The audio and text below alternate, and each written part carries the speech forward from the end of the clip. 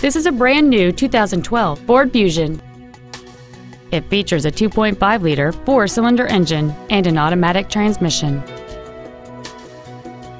Its top features include a double wishbone independent front suspension, a low tire pressure indicator, traction control and stability control systems, aluminum wheels, and satellite radio. The following features are also included a power driver's seat, cruise control, full power accessories, a six speaker audio system, performance tires, four wheel independent suspension, an illuminated driver's side vanity mirror, dusk sensing headlights, a keyless entry system, and an anti theft protection system.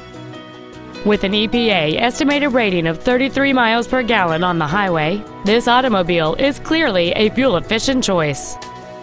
This automobile won't last long at this price. Call and arrange a test drive now.